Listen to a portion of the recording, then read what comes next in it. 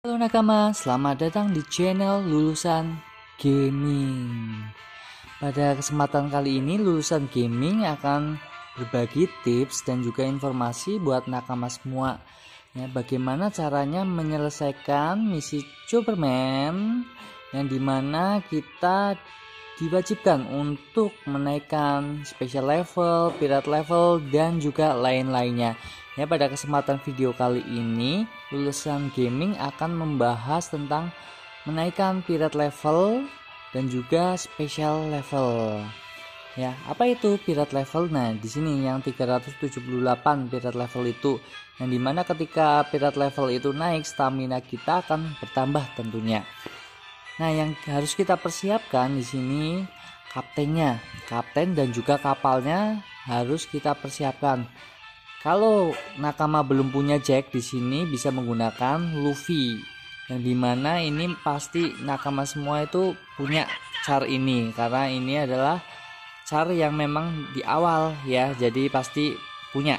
Nah di sini kapten ability-nya itu menaikkan ngebus Pirate XP ya 1,25 sedangkan kalau punya Jack di sini double pirate XP kaptennya kapten ability yang bawah ini ya di sini double pirate XP nah jadi memang Jack ini bagus untuk farming dan juga jangan lupa kapalnya kapalnya juga harus menggunakan yang ngebus pirate XP ya di sini pirate XP 1,5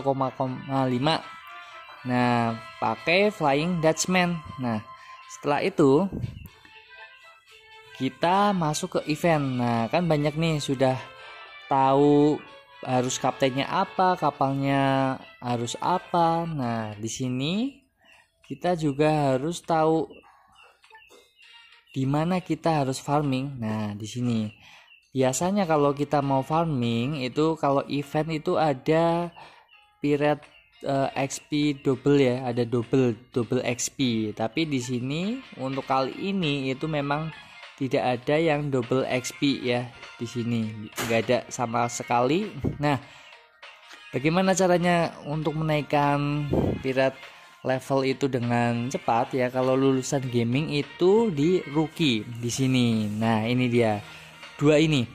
Rookie ini pirate XP-nya ya, levelnya ya, pirat levelnya itu lumayan, lumayan tinggi ketimbang kita farming yang lainnya. Yang di sini kita bisa farming car car ya, car yang kita inginkan juga. Nah, di sini saya akan menggunakan Yasop. Karena apa? Nanti kita tahu ya. Kenapa harus di Yasop? Nah, di sini untuk select helpernya kita harus menggunakan hero yang sama ya Luffy kalau enggak Jack nah di sini dropnya stamina yang dua kali karena memang murah stamina nya hanya membutuhkan 10 stamina. Costnya sangat rendah ya. Nah kalau di sini kita bisa auto saja. Nah, ini kita bisa farming pirate level sekaligus kita bisa farming kura-kura di sini. Jadi untuk nakama yang belum tahu bagaimana caranya kita farming bahan untuk menaikkan level char kita itu dengan kura-kura ya atau dengan yang lainnya juga banyak ya selain kura-kura. Tapi kalau kura-kura ini lumayan recommended ya. Gampang untuk di farming. Nah, kenapa ini lulusan gaming ambilnya di Yasop nanti tahu maka dari itu tonton terus videonya ini ya jangan di skip nanti ketinggalan ya bagaimana caranya kita menaikkan special levelnya itu dengan cepat ya. hanya dengan satu cara saja atau satu tempat unit farmingan kita bisa menyelesaikan misi tersebut.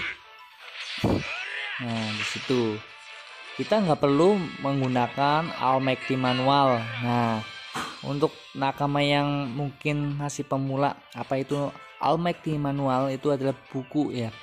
Buku yang di mana untuk menaikkan special level. Gambarnya ya seperti buku.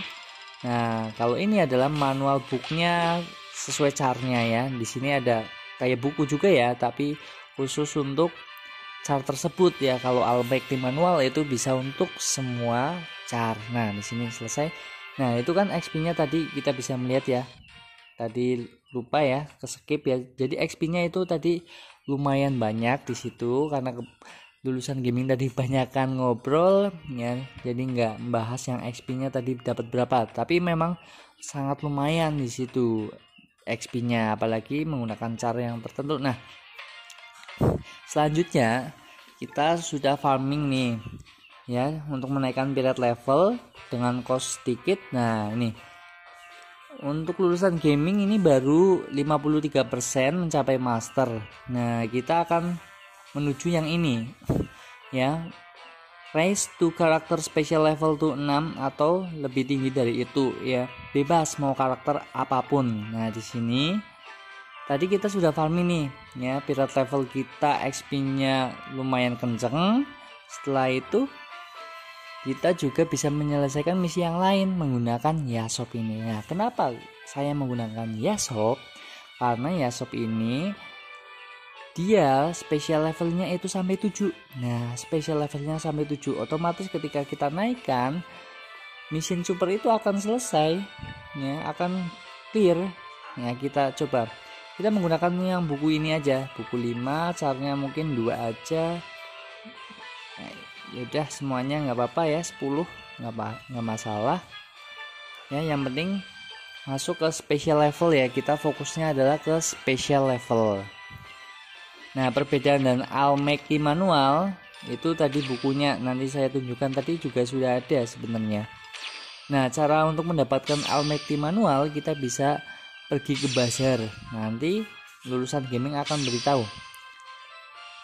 Nah ini sampai 6 paling enggak masih 4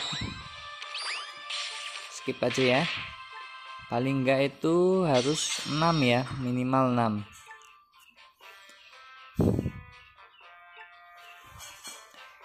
harusnya memang fokusnya lebih ke buku sih. Kalau nah ini harusnya ke sininya. Kalau bukunya ini tadi 10 itu bisa sih langsung level 6 karena tadi ada cara yang dupe ya kita ikutkan itu malah menambah support. Bukan fokus ke special level. Nah ini fokusnya ke special level. Nah kita max ya sudah sampai 7 kalau support level ini memang kalau chart dupe itu bisa untuk support level dan juga potensial ability. Nah selesai. Jadi kita hanya cukup farming di satu tempat dan juga menggunakan satu cara saja. Nah tuh selesai kan? Tinggal kita seperti itu terus. Ya ini juga dua kali lagi. Sama. Ya dengan farming satu tempat dan juga satu cara nah buat yang nakama belum tahu nah ini Almighty Manual adalah ini buku ini. Dari mana kita mendapatkan buku? Bisa dari bazar dari bazar sini ya kita tukar item. Tentu saja menggunakan training point. Nah di sini kita bisa menggunakan Almekti-nya di paling di bawah ini. Nah ini. Absolute Almekti manual. Ini adalah buku manual untuk menaikkan special level. Nah perbedaannya Almekti yang satunya ini kalau yang buku yang lebih kecil ini ya nggak ada uh, kilauannya ya nggak ada gold ya lebih ke gold ini perbedaannya ini tidak 100% naik. Sedangkan yang atas ini itu pasti 100% naik special levelnya makanya harganya mahal 10.000 nah caranya training point itu bisa didapat dari ketika kita gacha ya. Ketika kita gacha itu di sini poinnya lumayan. Kalau yang farming itu hanya dua sedangkan kalau yang hasil gacha ya kalau tiketnya itu gold itu 300 tapi kalau tiketnya yang merah itu yang yang sugo fast itu bisa sampai 5 ribuan. Nah di sini saya sudah favorit jadi nggak bisa sih. Training point. Nah kita lihat. Sudah tak favorit kan jadi nggak bisa. Nah ini kan training pointnya kelihatan 5000 5000 5000 nah seperti itu jadi untuk video kali ini tipsnya adalah dengan cara kita farming satu cara saja ya. Kita bisa meraih karakter special level itu menjadi level 6 ya. Jadi kita bisa menyelesaikan misi super yang ini. Sangat mudah kan? Ya. Terima kasih nakama ya yang sudah menonton video kali ini memang hanya membahas spirit level dan juga tentang special level. Bagi nakama yang belum subscribe jangan lupa subscribe dan juga like dan juga komen ya. Supaya lulusan gaming semangat nih untuk bikin videonya. Terima kasih sampai ketemu di video selanjutnya. Matur nuwun